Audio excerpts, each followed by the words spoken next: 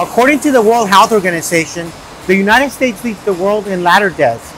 Each year, there are more than 164,000 emergency room treated injuries and 300 deaths in the US that are caused by falls from ladders. Most of those deaths could have been prevented if the person using the ladder was trained to use it safely. That's why in this video, I'm going to teach you how to use ladders safely and avoid becoming another statistic. There are two general categories of ladders. Fixed ladders, which are permanently attached to the wall or landing, and portable ladders, which are moved from task to task. This video will focus on portable ladders. Let's start with general safety information. Always review the manufacturer's instructions to make sure you are using the ladder in the way it was designed. Check the load capacity, inspect the condition of the ladder, and make sure there are no loose steps. Lastly, check the area you plan to use the ladder. Make sure the surface is flat, even, and provides enough traction to avoid slips. Now that we have inspected the ladder and ensured it is safe to support you and the work you will be performing, let's discuss some do's and don'ts. You must maintain three points of contact and face forward whenever ascending or descending the ladder. This means you cannot climb a ladder or go down it with a tool in your hand.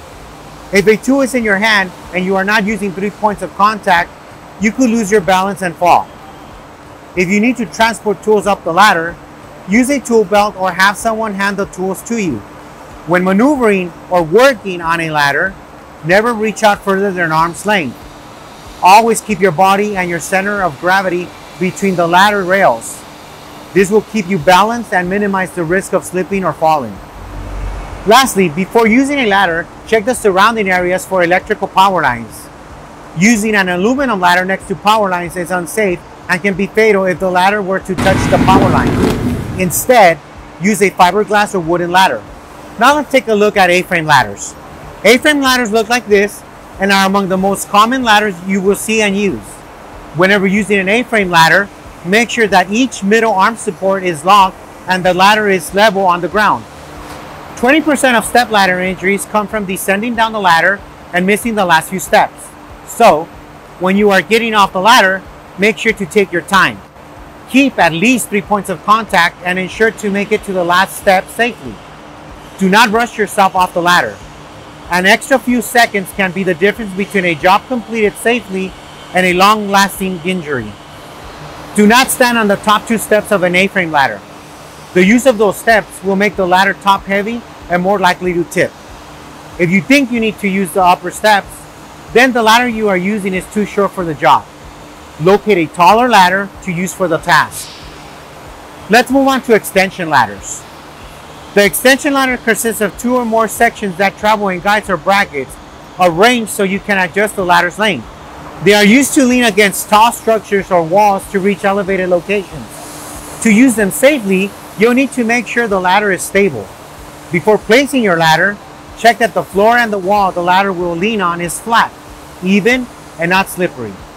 Keep in mind that backwards and forwards are not the only direction a ladder can fall.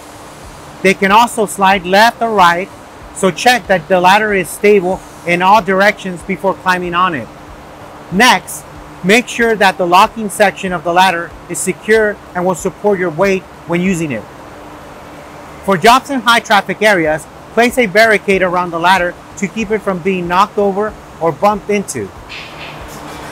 Using these barricades is important, not only to keep the person using the ladder from losing balance and falling from someone accidentally bumping the ladder, but also to keep people clear from underneath of the ladder in case material or tools were to fall. The next consideration is pitch. This means the angle of the ladder between the floor and the wall. If the base of the ladder is too close to the wall or structure, the ladder angle is too steep. And with someone's weight at the top, a wrong movement or gust of wind can send the ladder falling backward. If the base of the ladder is too far from the structure or base of the wall, then the angle of the ladder is too flat and the feet of the ladder could slide out underneath of you. Remember the 4 to 1 ratio. For every 4 feet in height, your ladder's feet must be 1 foot away from the wall.